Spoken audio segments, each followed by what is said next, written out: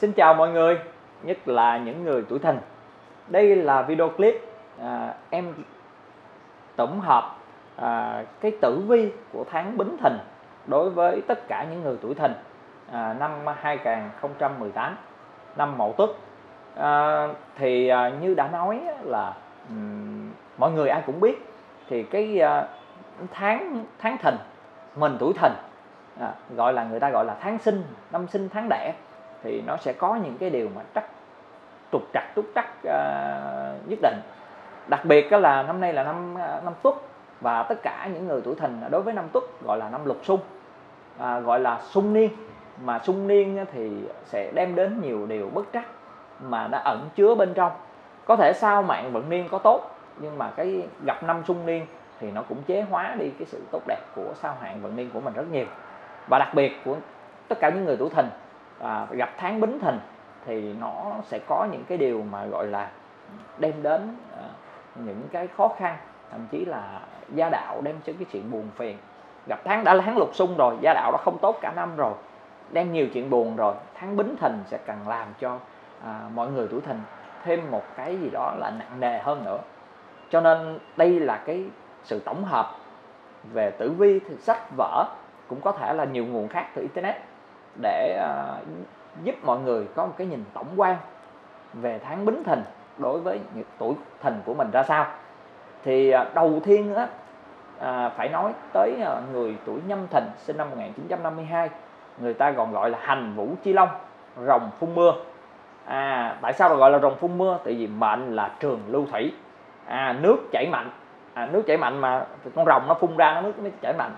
Thì à, à, do là tuổi này á, là em không làm tử vi vận hạn của năm một tuất à, đối với cái à, người nhâm thìn. Cho nên em sẽ tổng hợp lại cái à, gọi là cái sơ khởi của cái à, tử vi của năm mậu tuất đối với người à, nhâm thìn nam hoặc nữ mạng. Đầu tiên hết nam mạng là mạng trường lưu thủy nước sông dài hoặc là nước chảy mạnh. Thì trường lưu thủy gặp năm bình địa mộc à, là gọi là sinh xuất à, bổn mạng có chút uh, suy yếu. Nhưng mà cái này trường lưu thủy cho nên là sinh xuất bản mệnh nó cũng không bao nhiêu. Các anh nam á, thì dưới sao thái bạch hao tài đau ớt à, sao thái bạch là quét sạch cửa nhà. Sao thái bạch này nó thuộc hành kim thì đối với người mệnh thủy thì là kim sinh thủy. Cho nên là cái sao thái bạch này nó cũng bớt cái phần, gọi là, hao tốn, bớt cái phần hung hiểm đối với người tuổi nhâm thìn. Vận niên thì gặp thử quy điền, tức là chuột về đồng tốt. Thiên can thì chữ mậu của của ờ, mậu tuất khắc chữ nhâm của nhâm thìn. Cho là năm khắc thiên can, bất an, công việc khó khăn nhiều điều, không tốt cho công danh. À địa chi, thìn và túc là lục xung. Gia đạo sẽ nhiều điều, rối rắm lo âu có nhiều điều buồn phiền đối với à, bản thân. À, còn đối với nữ mạng thì mạng thì cũng là trường lưu thủy. Gặp năm bình địa mộc là sinh xuất. Sao thì các chị may mắn gặp sao thái âm một cái sao may mắn danh lập tốt. À sao thái âm này à, đối với cái người mà mệnh thủy thì cũng không có quá phần may mắn đâu. Cho nên là đừng có nghĩ là có sao thái âm là muốn làm gì thì làm. Nạn thì hạn thì gặp huỳnh tiền phòng bệnh nạn mà hạn thì nạp huỳnh tiền này bốn mạng thì bị sinh xuất. Thì nếu là các chị thì em cần để ý tới sức khỏe của mình đặc biệt là không nên đi xa. Vận niên ngu canh điền. À trâu cày ruộng tốt thiên can mậu khắc nhâm cũng giống như các anh địa chi thìn à, và tuất lục xung. Ha, gia đạo nhiều rối rắm âu lo. Mà đối với các chị thì nên cần lo nhiều hơn là cái uh, rối rắm âu lo của mình. Tại vì là như người ta gọi là nam nhâm nữ quý nhưng mà các chị thì nắm chữ nhâm. Cho nên là vốn dĩ là người ờ, khá cứng cỏi và đôi khi là nóng nảy cho nên là cái địa chi mà gặp năm lục xung là cần phải quan tâm lưu ý nhiều. À, như vậy là cái tổng quan của năm thì xem coi cái tháng bính thìn à, của năm mậu tuất 2018 này đối với các anh chị thì ra sao. Mạng á, thì tháng bính thìn là mạng thổ. Tháng thổ, khắc cái mạng thủy của các anh các chị. Bản mệnh khắc tháng, bị tháng tương khắc chứ quên. Bản mệnh bị tháng tương khắc, đề phòng tai nạn, bổn mạng nguy nan. À các anh thì gặp sao thái âm. À quên sao thái bạch. Thì hao tài, đau ốm. Cho nên là gặp mà cái tháng nó khắc bản mệnh, thì coi chừng đau ốm và hao tài. Các chị thì sao thái âm? Mà gặp đó thì cái cái nạn thì nạn huỳnh tiền. À, cho nên là tháng này cực kỳ cẩn thận về bố mạng và chăm lo phần sức khỏe cho mình. Thiên can á, chữ nhâm khắc chữ bính. À thấy căng ha? Mậu khắc nhâm rồi nhâm thì khắc bính thiên can. À, thiên can khắc tháng công việc khó khăn bị cạnh tranh chống phá nhưng vẫn có cơ hội giải quyết được. Thiên can cả năm bị mậu khắc nhâm rồi thiên can tháng nhâm khắc bính thì là các anh các chị thì em cần phải để ý công việc nhiều thứ. Coi chừng sinh hao tốn rầy rà rất là nhiều điều thậm chí là liên quan đến pháp luật. Thìn gặp thìn. À, người tuổi thìn gặp tháng thìn là người ta gọi là tháng tự hình. Ý nghĩa của tự hình là sự cạnh tranh giữa bên yếu quấy nhiễu bên mạnh bên mạnh loại trừ bên yếu cho nên là gia đạo dễ sinh chuyện rầy rà như vậy đối với cái tháng bính thìn mà anh chị mà thuộc người nhâm thìn thì rõ ràng là nó tương khắc nhiều điều. Mang thì bị bị bị khắc thổ khắc thủy thiên can nhâm khắc bính ha. Địa chi thì thuộc cái tự hình tháng đẻ. Cho nên là các anh các chị thì em cần để ý nhiều. Sức khỏe công việc và cả gia đạo. Một cái tháng mà có thể nói là à, có thể nói là xấu nhất của người tuổi nhâm thìn. Vì là tháng sinh và tháng khắc mệnh thì nhiều điều nó sẽ phải lo à, nếu như là các anh các chị thì em à, tu thôi chưa đủ đâu ha ráng dưỡng tâm mình trong tháng này cho mọi điều nó qua đi tốt đẹp. À, dù sao đi nữa thì nó cũng chỉ là những cái dấu hiệu. Em hay nói là đức năng tháng số.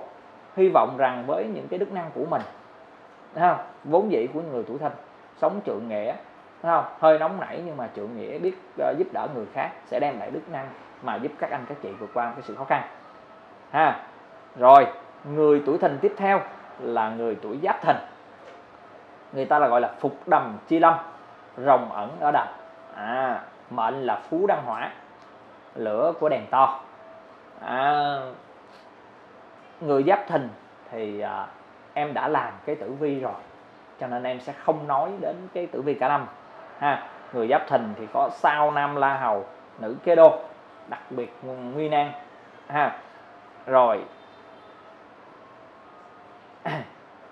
Thiên can giáp khắc mậu ha. Rồi á, hạn thì một cái là tam kheo một người là thiên tinh. Rõ ràng là cái người của uh, giáp thìn nam hay nữ mạng có một cái tử vi cả năm không có mấy tốt lành. Gặp tháng bính thìn à thì như thế nào? À, tháng bính thìn của năm mậu tuất là một tháng thổ. Như vậy là mạng hỏa sinh thổ bản mệnh sinh xuất tháng đề phòng suy yếu bổn mạng. Tuy có bệnh hạn cũng không có quá nặng nề cũng có thể vượt qua. À, thiên can giáp bính không xung không hợp là trạng thái cân bằng tự chủ. À, ngũ hành đó là chữ giáp thuộc hành mộc à, chữ bính thuộc hành hỏa cho nên là dễ sinh hao tài trong công việc nhưng có chủ đích. À, về địa chi thì à, như cũng giống như các anh, anh chị nhâm thìn là tháng đẻ cho nên là gia đạo dễ chị sinh chuyện rầy rà công việc dễ lôi kéo những cái việc nó không có đáng có. Như vậy là với cái người tuổi giáp thìn à, bổn mạng của cái tháng bính thìn này thật sự là một cái điều gì đó nó không có tốt lành. Thì vì bổn mạng vốn dĩ dù là mình là người mệnh à, mệnh hỏa được tương sinh cả năm thì hy vọng với cái sự tương sinh cả năm này sẽ mình sẽ vượt qua được cái sao la hầu cái vận niên cẩu cuồng phong cái thiên can bị khắc địa chi bị lục xung. À, nhưng mà tháng thì bị sinh xuất nữa cho nên là cái cái cái cả năm mình bị tương sinh nhưng mà gặp tháng sinh xuất nữa thì mình bị yếu đi. Yếu đi thì những cái xấu ở bên còn lại nó sẽ đè mình và gặp cho mình nhiều điều khó khăn. Thiên can thì à, không xung công hạ, hạ, hình hại nhau nhưng mà về nạp âm ngũ hành là sinh xuất thì công việc cũng dễ sinh hao tốn cho nên là các anh các chị cần để ý à, nhiều điều ở trong cái tháng này. Vốn dĩ cả năm đã là cái thiên can không à, cái cái tử vi không tốt gặp tháng người ta gọi là năm sinh tháng đẻ thì chắc chắn nó sẽ có nhiều điều còn rắc rối hơn. Cho nên là các anh các chị cần để ý để không có rơi vào cái tình trạng mà khó khăn. Tuổi thìn tiếp theo là tuổi bính thìn luôn. Thì à, tuổi bính thìn à, của năm mậu tuất à, thì mình đã làm cái tử vi rồi. Cho nên mình không có nhắc lại cái à, tử vi cả năm nữa. Mình vận vào luôn cái tháng. Thì à, tuổi bính thìn gặp tháng bính thìn thì như mạng sẽ đồng hàng thổ không? thiên can thì bính thì sẽ đồng hàng luôn à, thìn với thìn là tự à, thuộc nhóm tự hình à, thì nếu là à, nếu đó là xét về mặt tử vi còn mà gọi là à, cảm nhận của một cái à, tuổi nào đó như những người mà tuổi ất mão đang trải qua à, tháng ất mão thì rõ ràng là người tuổi bính thìn tháng trải qua tháng bính thìn luôn thì rõ ràng là có nhiều điều không có tốt đẹp mà cần phải để ý. Chứ không phải đơn giản là à, mình có ờ, thiên can đồng hàng ờ, địa chi đồng hàng. Đó không? Mạng đồng hàng là mình vượt qua một cách ừ, dễ dàng. Nên nhớ nam thì của cái cái tuổi bính thìn là gặp sao kế đô. Thì cái sao kế đô này không xô cũng ngã. À, cho nên là gặp tháng luôn tuổi thì nên để ý nhiều điều. À, các chị thì may mắn gặp sao thái dương thì nó cũng đỡ một tí đi à nhưng mà các anh các chị gặp tháng bính thìn thì nên để ý nhiều điều. Làm việc gì cũng cân nhắc kỹ lưỡng. Nhất là mặt giấy tờ ký tá là phải lo lắng phải để ý. Thì vì cả anh lẫn cả chị thì đều vào hàng địa võng. Ha, nhiều việc lo âu và xin rời rạc. Rồi đến người tuổi thìn tiếp theo là người tuổi mậu thìn. Thì mậu thìn thì mình cũng đã làm cái tử vi của tuổi thìn này rồi cho nên không nhắc lại chỉ có vận vào cái tháng bính thìn nó như thế nào thôi. Thì tháng bính thìn đối với người mậu thìn á mạng là mạng của người mậu thìn là mạng mộc gặp tháng à, bính thìn là tháng thổ. Như vậy á, mộc khắc thổ bản mệnh khắc tháng. Người ta gọi là bản mệnh khắc tháng thì đề phòng tai nạn. Bổn mạng có vấn đề không nên đi xa chỉ nên ở gần. À, bính thiên thiên can á, bính mậu à, là không xung không hợp là trạng thái cân bằng tự chủ. Bính cái chữ bính về mặt ngập âm ngũ hành là hỏa mậu là thổ cho nên có thể nói thiên can về mặt âm ngũ hành là sinh nhập hỏa sinh thổ có lợi cho công việc làm ăn nó dễ sinh tài. Còn địa chi thìn với thìn là tự chủ bình hòa. À, quên lột là là tự hình mà tự hình là bên yếu loại trừ bên mạnh gia đạo dễ sinh chuyện rầy rà không có vui gặp người mà đã nói rồi ha. Mình không cần biết à, người người ta gọi là năm sinh tháng đẻ thì thìn gặp thìn thì cần phải để ý. Gặp tháng này là bổn mạng của mình khắc tháng nữa. Cho nên là phải để ý xem coi là mình có ảnh hưởng cái gì không. Sẽ có nhiều điều là khi mà mà cái chữ mộc của mình nó khắc tháng thì các cái tinh quân nó không phát huy, các tinh quân tốt nó không phát huy được tác dụng. Mà không có phát huy được tác dụng thì cái người mà nam mạng sẽ chịu nặng nề hơn tại vì người nam mạng dưới sao thái bạch. À sao thái bạch thì mọi người đã biết rồi nó thuộc hành kim mà người thì đại lâm mộc nó kim nó khắc mộc nữa. À, cho nên là để ý nhiều điều. À, vào tháng này thì à, các à, anh chàng nam mạng mậu thìn phải cần cẩn thận. Nếu không muốn à, rơi vào cảnh bệnh hoạn hoặc là tai nạn nhưng mà không quá nặng nề. Tại vì các anh nên nhớ là cả năm mình được thuộc hành mộc cùng hàng mộc với lại năm bình địa mộc. Cho nên là mình cũng có được cái tương sinh lợi về mạng. Rồi người tuổi thìn kế tiếp đó là canh thìn những em sinh năm 2000 người ta gọi là thứ tính chi long rồng khoan dung. À, con rồng này thì khoan dung độ lượng lắm. À, mạng là bạch lạp kim. À, vàng chân đèn cái cái cái cái cái, cái, cái chân đèn bằng vàng đó. À thì do là chắc chắn anh sẽ không làm cái tử vi tuổi 2000 cho nên anh sẽ nói sơ cái cái cái, cái vận hạn của năm Mậu Tuất 2018 đối với người tuổi Canh Thìn.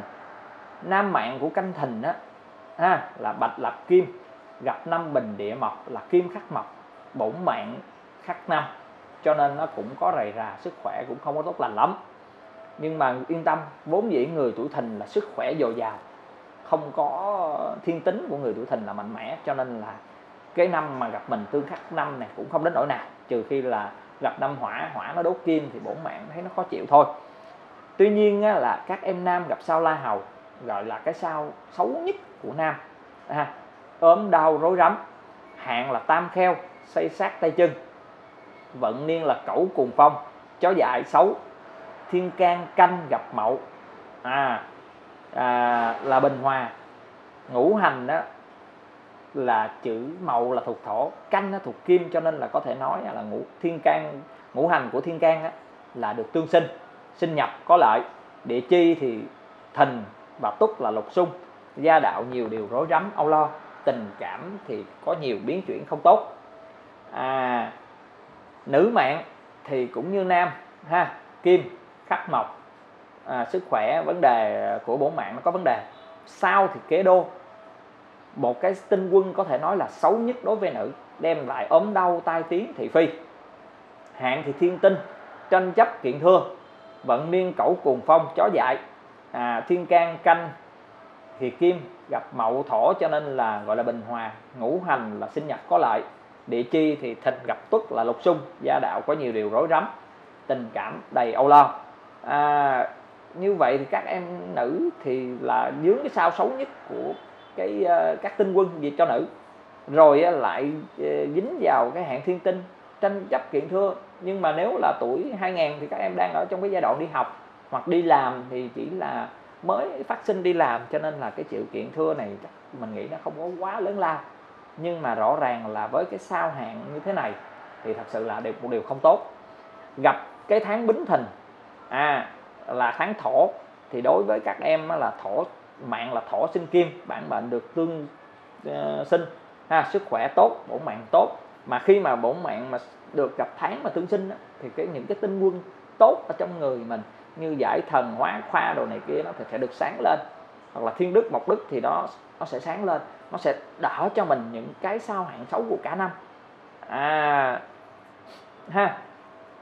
Địa thiên can á, là chữ canh bị bính nó khắc à, gọi là tháng khắc thiên can. Công việc khó khăn dễ gây hao tốn lâm vào bế tắc. Thí dụ như mà các em mà còn đi học á, thì dễ sanh rầy rà trong chuyện học hành lắm. À, thật đem lại những cái chuyện bực bội à, trong mình. Địa chi gặp thình gặp thình nữa là coi như là tự, thuộc nhóm tự hình rồi. À, cho nên là dễ đem sự chuyện buồn lòng. Đúng không? Nếu như vậy xét về tháng bính thìn đối với cái người tuổi mà canh thìn của các em thì rõ ràng chỉ tốt được cái bổn mệnh thôi tương sinh thôi là sức khỏe không có vấn đề. Nha. Nhưng mà với cái sao kế đô và la hầu cho nam và nữ thì rõ ràng là một điều không đơn giản. À, bính thì nó khắc canh nữa cho nên công việc cuộc sống dễ sanh đầy ra bị thị phi là cái chuyện không không không ờ, không khó đâu. Ha cho nên là nếu là các em thì à, không nên tụ tập tầm 3 tầm 5 nói chuyện của người ta nhất là các em nữ.